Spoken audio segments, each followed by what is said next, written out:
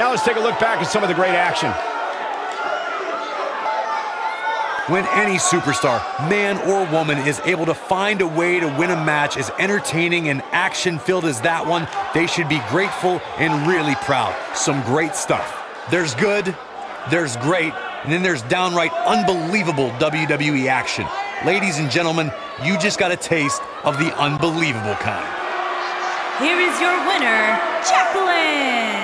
And the first match of the night comes to an end in thrilling fashion. And if that match is any indication of what to expect here tonight,